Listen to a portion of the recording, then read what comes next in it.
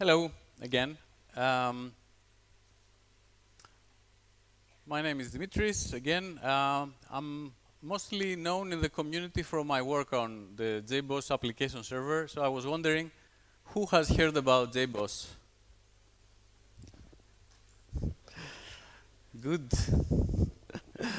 Excellent. Okay.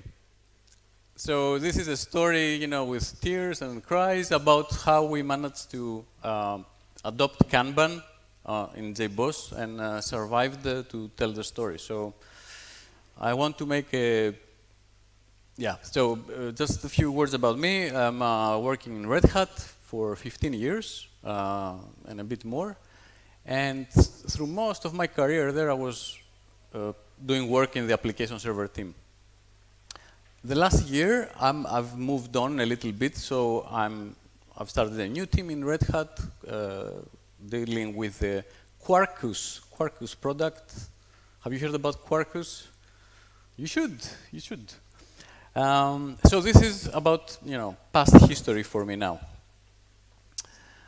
Uh, disclaimer, uh, I'm not a agile coach, neither Kanban expert, and I can uh, uh I'm a, I'm a certified unexpert because I took the test at the booth from a bit and I only scored uh, 9 out of uh, 14. So I'm definitely not an expert.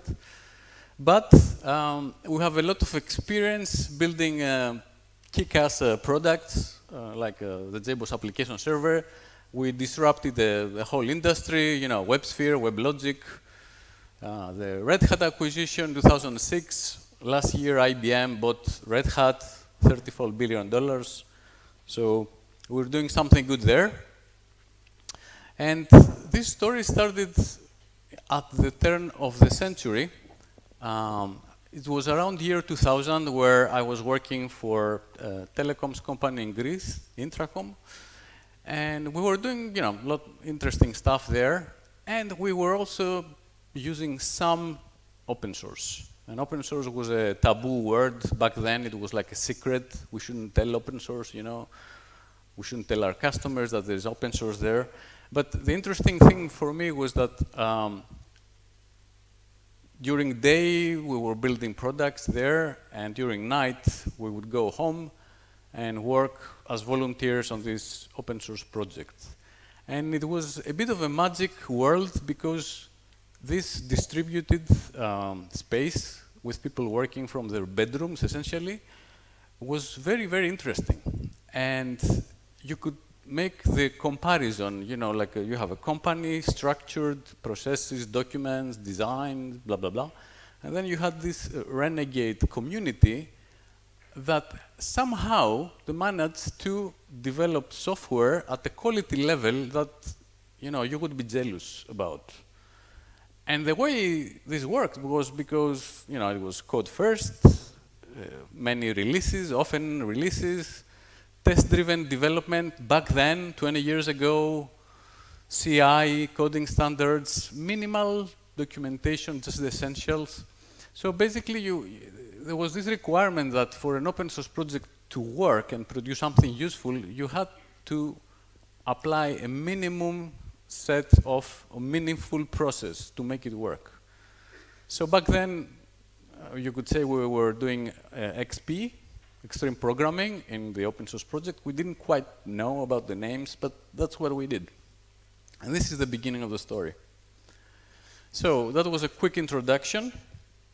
I'm going to take you through uh, the definition of the problem, what we try to solve with Kanban, and the different stages we, we went. Uh, again, this is a subjective experience. You know, you might be doing things different, um, but this is, you know, this works for us. So maybe some you get some ideas for your own project. And if I have time at the end, I will also show you a little bit of a tool we developed to make uh, working with Kanban uh, easier uh, we could be able to take questions at the end as well. So what was the problem? The problem was that this little project, JBoss application server, developed by whatever, 30 developers around the world, it had grown enormously. So last year when I left the project, it was Red Hat's second biggest uh, product um, after Linux. Um, uh, it has an open source uh, companion, like uh, a free companion. So Wildfly is a completely free, as in beer, an open source community project, and JBoss EAP is the supported open source community product. So two things. Um, open JBoss was a is a it's a platform. So we include 150 components. Uh, component could be like a logging library, like a tiny thing, or it could be a messaging broker, which is a product on its own. Uh, and those are made by teams. My team, we were about 50 people overall, but many components were developed by other teams in Red Hat or completely unrelated teams in the community. So other products were building on ours, about a dozen.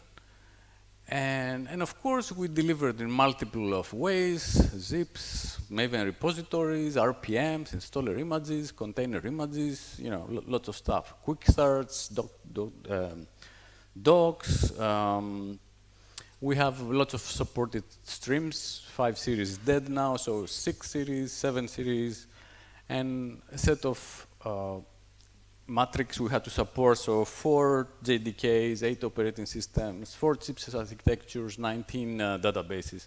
So you can imagine just to run the full test suite, which was 200,000 tests, took two weeks on massively parallelized hardware. So it's a, it's a big project. And even better, this is developed still by a community of uh, employees now, spread around uh, 15 countries. Uh, so the biggest sub-team in this team was like three people, more or less, not collocated. Still many working from their bedroom, if, if they want. Now, um, when Red Hat acquired JBoss, they introduced some minimal process, and it was pretty much waterfall. So requirements, development, testing, in that order. And the way we did it was we had periodic builds every two weeks or three weeks, depending on the phase. And the early builds will be developer builds, like alpha versions. Uh, engineering builds would be, um, uh, let's say, beta quality, so feature complete, more or less. And then release candidates, assuming, you know, if they were okay, that you could release them uh, as GA.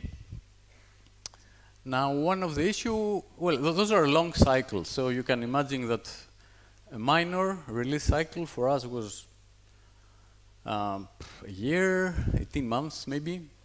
A major cycle, two years, three years. And what was the problem? Uh, in some cases, when a minor cycle overlapped a major cycle, so the team worked on JBoss 6.4, and at the same time, we were doing JBoss 7. Um, this left this cycle open for too long, the, the planning cycle for the next major release. So maybe this rings a bell to you. Uh, but in JBoss 7, it was a ridiculous situation where this was open for 14 months. So 14 months, we have a product manager coming and say, I want this and this and this and this. You know, how much time? Yeah, and we'll go and, you know, give a proposal. And then next month, oh, I want also this, this, this, this, but remove this. How much time? And then this on and on and on. We waste, you know, infinite amount of time just doing this recalculation. So that was a problem. Another problem was um, when you work in the community, things are kind of easy because someone has a need, they develop a feature, they bring the feature, it's good or bad, you know, we keep it or we throw it away. But when you work with customers, you go through product management, they bring a request, we have to analyze it, implement it, and quite often when you reach the end of this cycle, you figure out that, oh, this is not what they wanted. You know, and in such a big project, of course, to, to just say, you know, tell me uh, how far are you with the release? And you go, mm, you know, it looks okay, you know, but uh, how much exactly you're doing, you needed a week to just figure things out. And at the same time, sticking to a release schedule, you know, was like a impossible, more or less. And at that point, it was, you know, boss comes out and with a solution. Of course, uh, we have to go agile, yeah? And um, when people think about agile, what do they mean? They want you to do Scrum, yes. They want you to do Scrum.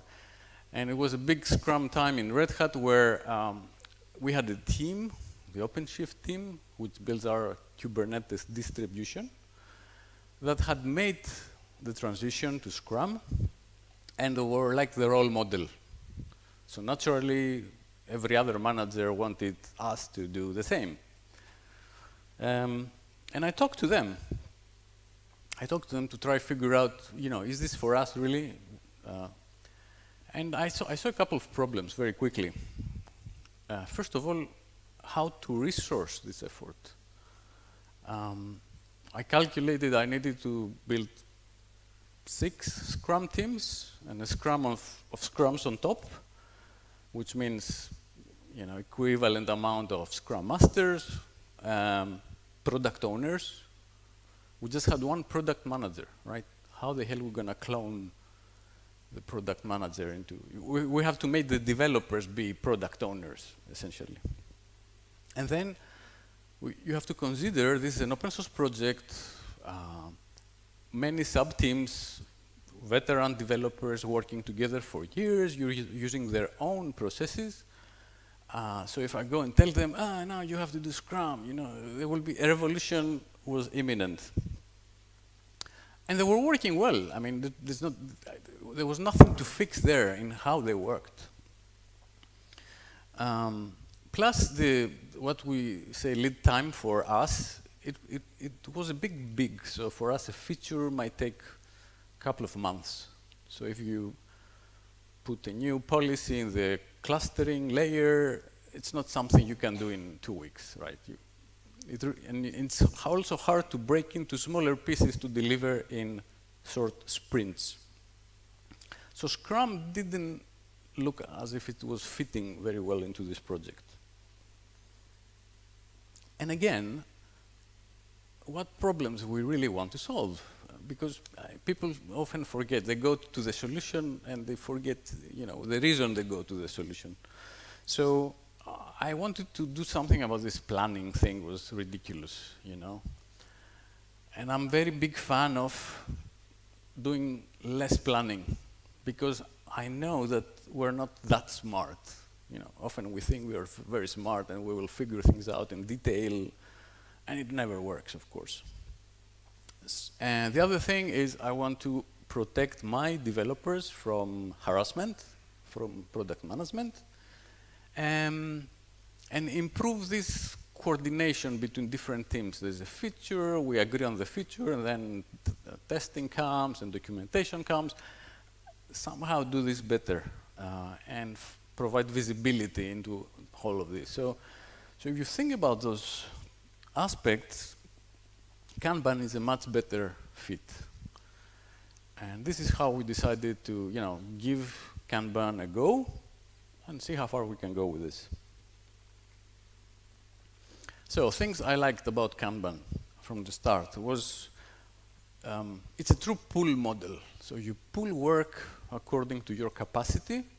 Uh, you don't even have to do micro planning uh, at a sprint level. So basically, for a release, the idea was that we prioritize the backlog. We agree on some let's say, themes for the release, the, the higher level goals. We want to have uh, security, clustering, and Java EE 7, whatever. And everything else, you know, if it makes it, it makes it. Know, we wouldn't sweat on it. Um, the good thing about Kanban is you can fit it onto an existing project, initially without changing anything. And I love this. I love this because I, didn't have to break the system. Uh, I also love the fact that I could start experimenting with Kanban with far less resources. I didn't have to, to train too many people. I had a guy that we more or less were looking into process stuff, and together we were trying to see, you know, how to make this happen.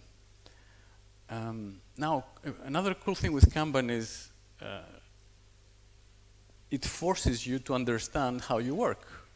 Because to visualize, to analyze the states, etc., you have to, you know, put down the steps, the handoff points, the deliverables, who does what. And quite often this uh, knowledge is lost in the system. Years of work, some people, you know, they just, it's in their head, it's tribal knowledge. It's hard to, to identify, and this kind of forces you to do that if you do it correctly. Um, and the idea was that, you know, you put everything down, you visualize, and then iterate and slowly improve. So that looked interesting. So our first approach with Agile, we would got, get rid of this ridiculous planning phase.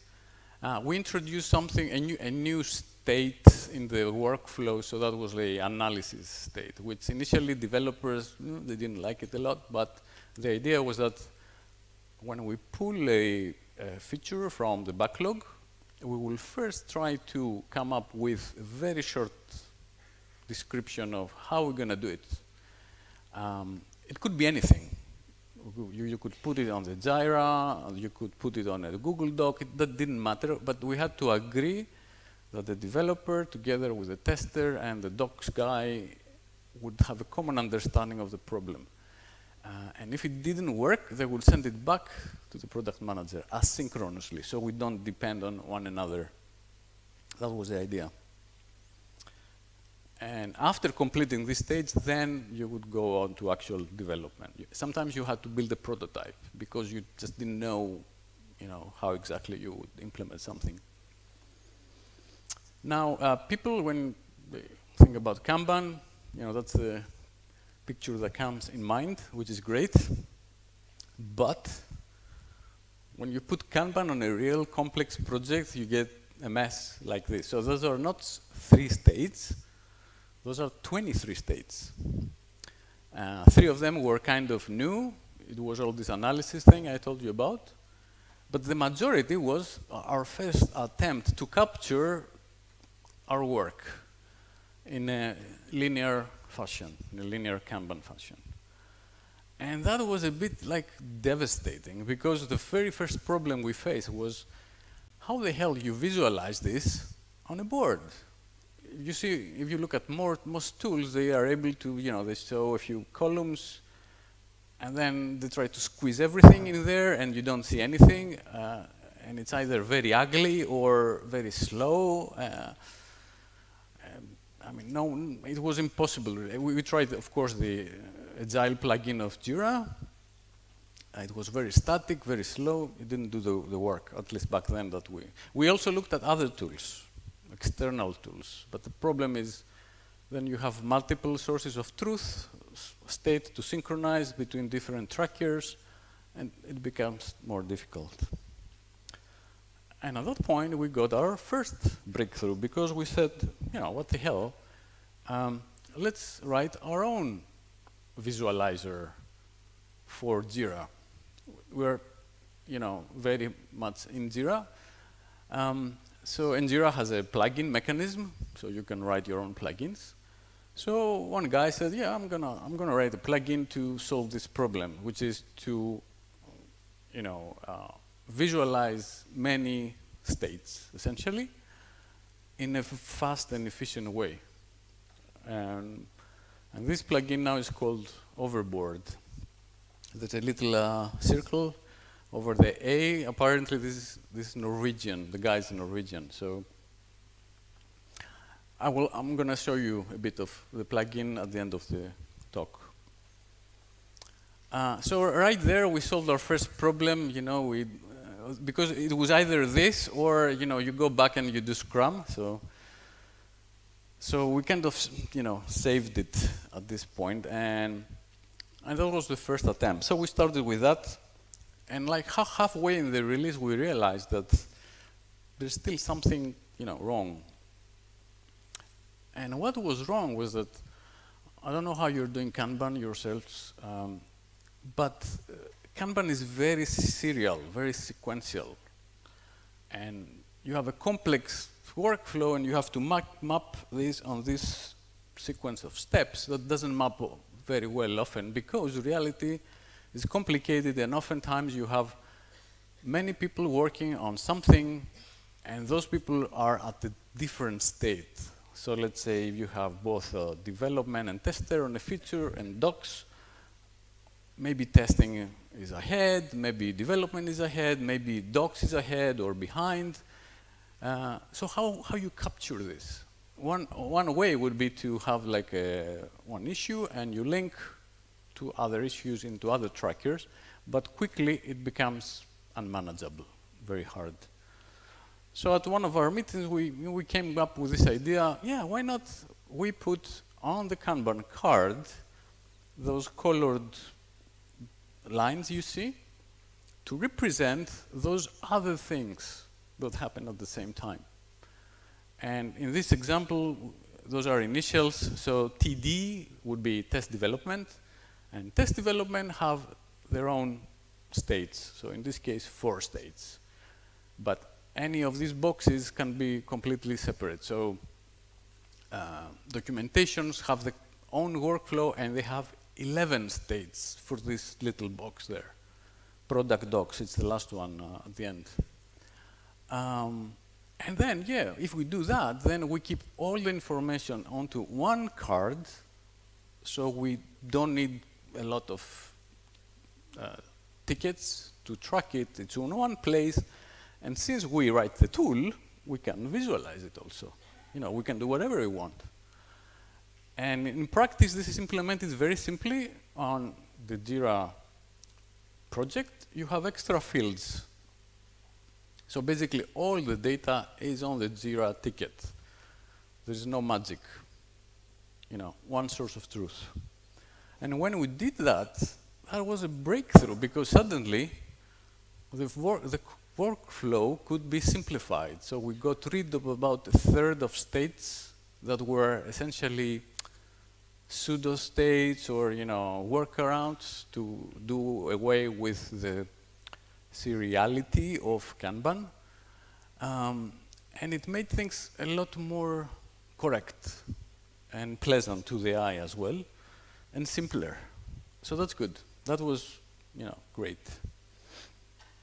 So we completed the release, planning went smoother, uh, and it's a revelation to realize that all those guys that were pressing you for, you know, give me a date, when you do this, when you do that, you know, they disappeared.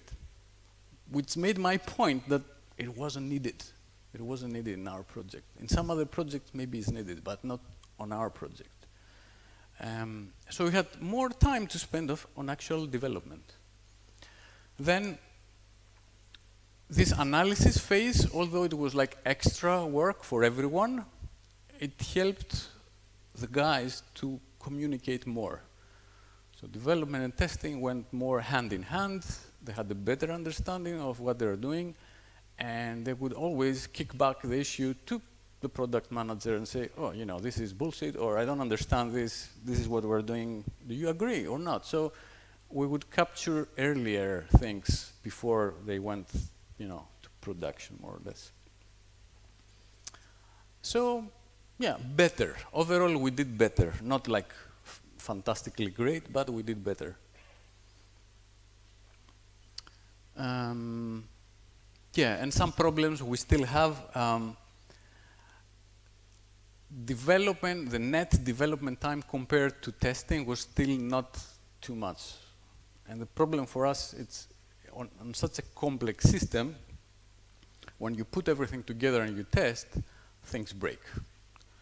And I had this empirical rule that uh, when someone came to me and said, we're ready, I knew that we needed seven more builds to be ready, ready. It was a magic uh, empirical rule that was verifying itself every single time. So you can imagine that you needed a, an extra three months to complete the release after you think it's ready.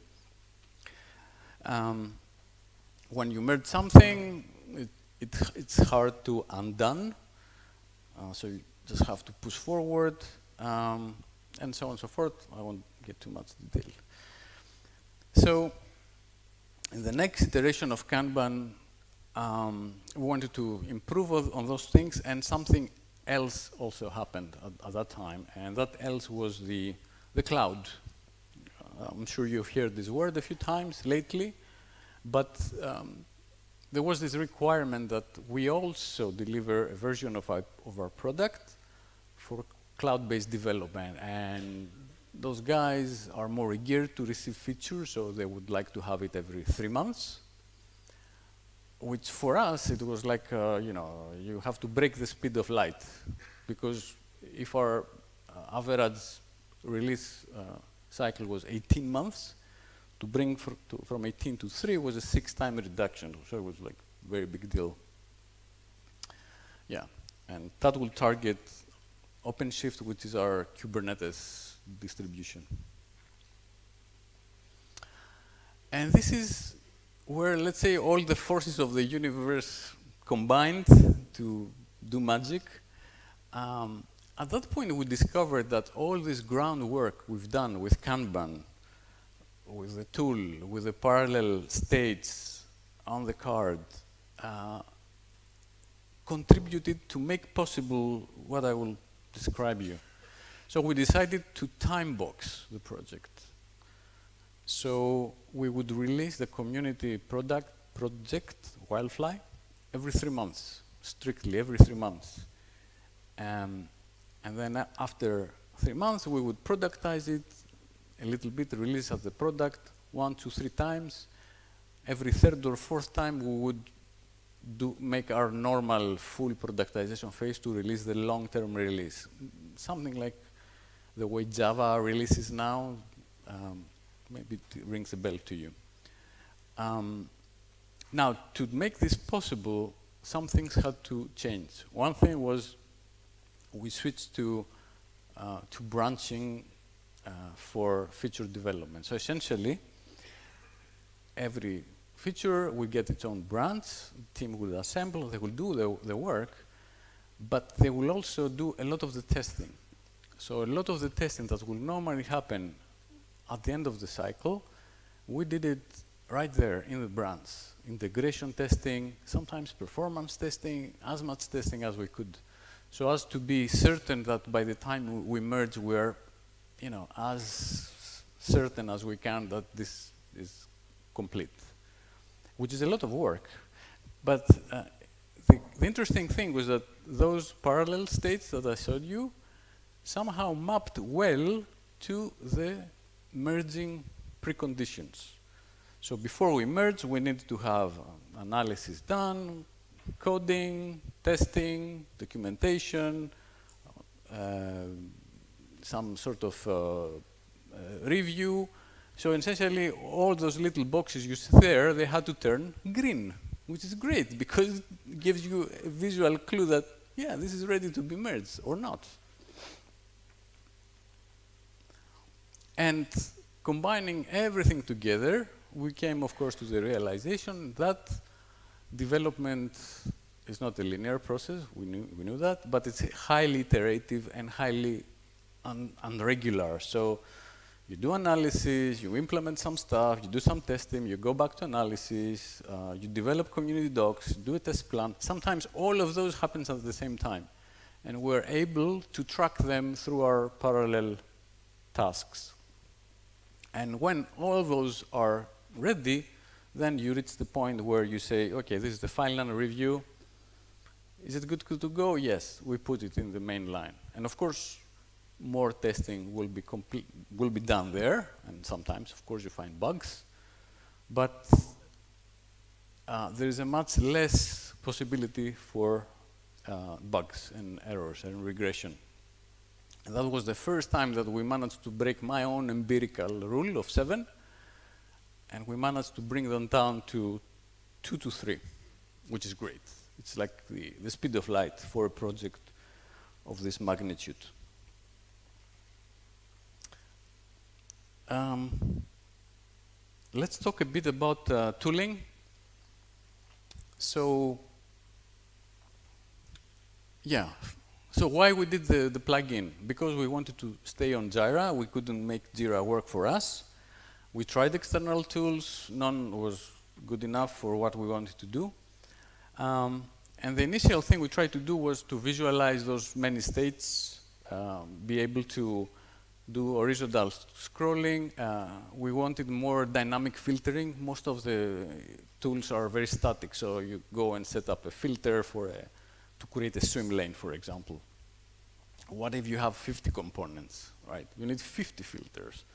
Um, and then the tool wouldn't understand our uh, additions to the workflow, like parallel tasks.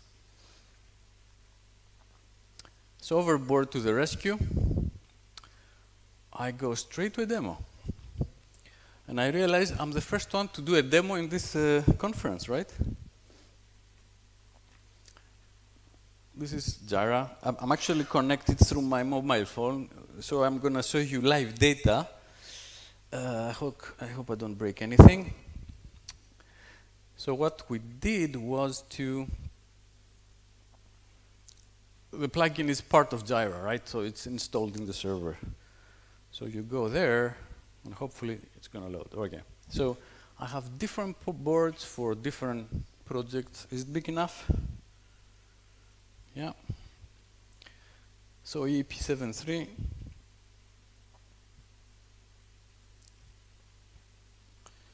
So, so it loads, and you see a different picture from what you're used to, but those are our Kanban cards. And of course, you can scroll up and down as usual, but you can scroll left and right. And it's quite neat, right? It's quite fast. Um, you can also uh, put uh, uh, group states together, so those are development states. And I can collapse all of them at the same time, there are counters to show you, oh, I have 35 issues here. Uh, I can collapse this one or not. So basically, I can see, oop, I can see wherever I want. And because data is cast on the server, it's, it's very fast. Now, I can create any dynamic view I want. So I go there and I say, I feel like creating swim lanes per components. So you do that, and boom, you get it automatically, right? Swim lanes per component. Uh, and this also changes the URL. So basically, if I go on another window, any view I, I see, I can go to another window and just paste it, and I should get the same view. So that's a very easy way for the team to exchange views. Um, if you work in security, for example, you might not care about anything else. And you can go and say, yeah, show me only the security stuff. Yeah, here. So see only this, there's a security sub team doesn't care about the universe. So yeah, they just see their own issues. You can see their faces, etc. Um, and this is also dynamic, right? Um, and if there is a change in the server, it immediately reflects in the view because it polls every 10 seconds for, for changes. Clicking on an issue just goes you, takes you directly to, to the underlying issue. Uh, so this one doesn't keep any state on its own. It's just a viewer, essentially a smart viewer. Um, those are the parallel states. If you click there, you get you know, I can change it. I won't do changes now. This is live data, so I'm not touching it. Um, you'll see also, like what I told you before, documentation have their own insane number of states, but it's their own problem. But still, we put it on the same card. They don't have to track it elsewhere. And I can filter in any arbitrary, crazy way. I can say, give me all the issues of the of uh, Farah. Farah is the lady here. Uh, that are stuck waiting for documents or stuck with development or they're complete but are not reviewed. any, any, you know, any view, you can do it from, from here and you can bookmark it essentially. Um, we also have an alternative view, which is called the, the rank view. So let's say I go to this project and say, show me the rank view, which is a simplified view. So imagine you are the product uh, manager, product owner, and you filter by, I can make a swim, yeah. You want to check out the priority of the, let's say again, security issues, yes, our favorite example. So I see only security issues, and this is the rank. So this is the most important one, right? I can change the rank up and down. So product manager will go there, we set the rank per component, per team essentially, sub-team. Uh, and this matrix shows how far this has progressed. So it's, is it at the beginning? So it, this is still the backlog. This is work in progress. At some point it will go there. Uh, this is like exception states. When something is stuck, we, we push it there. And that's also very simplified, and for the developer also, they don't have to look at all the information. So the cool thing is, on one board, we can either have the state of the full project, you know, hundreds of issues, or just a few components that, that we choose. I will show you quickly also um, how this is configured. Essentially, configuration is really uh, graphic tooltips the important bit, it, it's a JSON document essentially that shows, you know, what are your states? Those are my states that are interesting to me. This is the, the project I'm pulling data from. So I'm pulling data from the EP7 project for this release. And pretty much everything else is, let's say, syntactic sugar. It's like which fields are interesting to me, what colors I would show what tooltips I will present. There's no other state in there. It's like visualization state and filtering state to pull the data uh, initially. And um, yeah, and that's it. So let me go back to my slides. To recap, um, we did manage to release quarterly, which was like uh, our target, our dream, whatever. Um, we created this new product, essentially, with the same resources, the same amount of people. Um, and uh, what was magic was we did it with one guy. All these things that I showed you, the plugin, the introduction of Kanban in a project of 50 people, um, the running of the process. We did it with one guy and myself kind of giving some directions. Uh, in contrast, the other team was occupying, you know, seven Scrum Masters. Uh, they have named the Crown developers to be product owners, and I, I, don't know what else to run what looks to me an equivalent, you know, uh, process.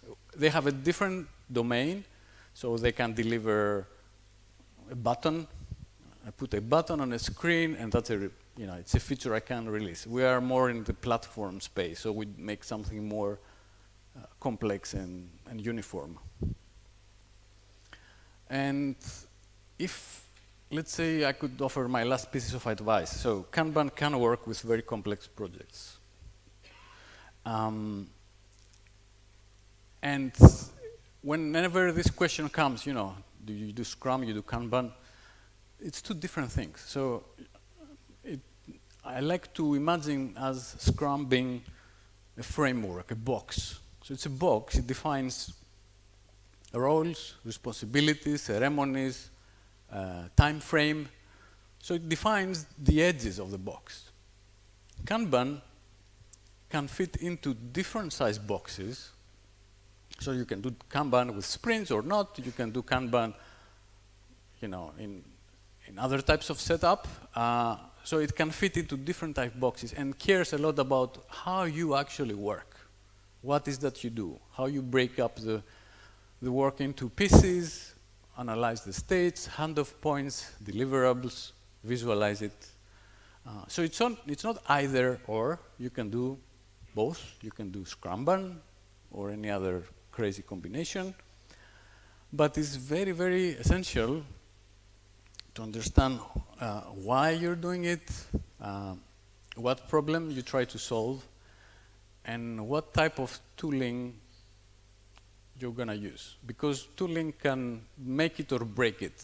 You know, if bad tooling can really discourage the team, they don't want, they won't like to use it, uh, it makes your life difficult. So we solve that by essentially adapting the tooling to our needs. We create extensions uh, for that, uh, rather than adapt our process to the limitations of the tool. So my call to action, if, if, you, if you use Jira, you know, give it a spin. We, we've open sourced it. We do, everything we do is open source in, in Red Hat. So it's free as in beer, free as software. Um, we welcome people to try it and maybe, you know, try it with a simple project, see if it works for you. The good thing, again, is you can plug it in on an existing project. It's just an alternative view. That, that's what it is. But a, but, but a very powerful view, very powerful uh, query, dynamic queries. There's nothing static in the tool. You can query any crazy combination of things. It's fast, at least in the setup we've used, like, uh, you know, let's say 100 people looking at the board. It works for that. I don't know if you want to use it for 1,000 people, but you know, I'm sure we can uh, find a way to make it work. Um, yeah, so try it out and let us know. And I'm done. We can.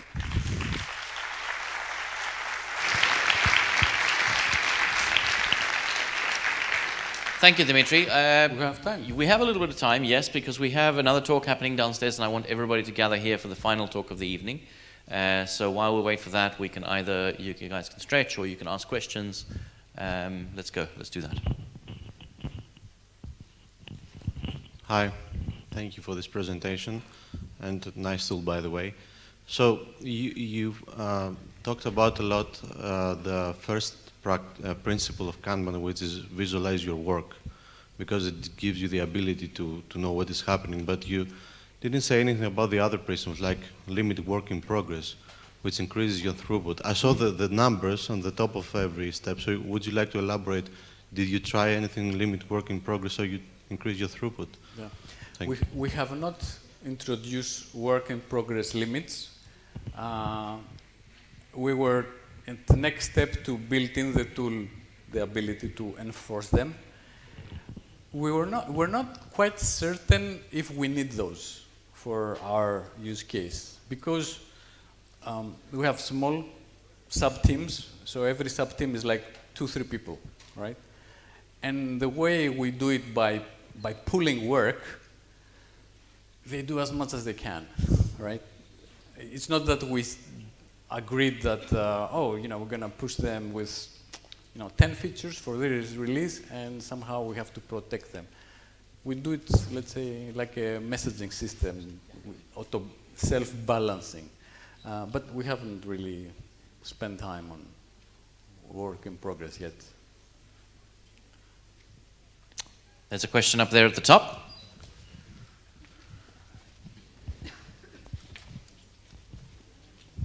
Thank you. Hello. Good, this works. Um, Thanks for the nice talk, very interesting. So it spawned a lot of questions for me. I will throw three at you and you can just choose which you want to answer. Um, first one would be if you're um, time boxing your releases again, it feels more scrumish kind of. So are you planning those releases ahead? Like what features go in, what go out? Um, second related questions, are you estimating your tasks, what you're doing? And uh, last question, uh, just vanished. Um, so let's go for the, for the okay, first two. All right. So how do we plan what goes into a release? For those three month iterations, we have some, uh, let's say, at the beginning of the cycle, we put down a list and we say those are the big themes, themes for this three-month release. So every, sub-team will, will have to come up and say, based on the backlog, I see I can roughly, roughly do X, Y, Z, roughly, yeah? If something is a must-have, it's a different um, discussion, but since we started to time box, we will push it to the next release. So, so those are not really hard uh, commit commitments. Are, those are like best effort estimates. Uh, so as a result, we also don't spend much time really trying to be accurate. And I can give you another story, like being accurate for something that will happen in one sprint, in two sprints, maybe makes sense. But for projects of this size, I, I, give you an example. We did the refactoring of the security systems in the server. It's a very hard job. We analyzed it uh, meticulously. We broke down the work into 150 tasks, whatever. We failed miserably. It took 17 iterations. So I guarantee you there's no human brain in the universe that can estimate what will happen after 17 iterations. Maybe we don't know what happens after two. So why spend the time? Good, thanks. I'm happy to take one more. You raise your hand really high, I might see it. He has another one, yeah. He remembered. Yeah, the last question. Um, uh, KPIs. Do you have key KPIs from Kanban you look at? I'm sure you're monitoring your process in some kind. A little bit. Now QE is trying to push some, you know, KPIs. Uh, yes, yes and no. Uh, nothing I would feel like, you know, I cannot live without it. So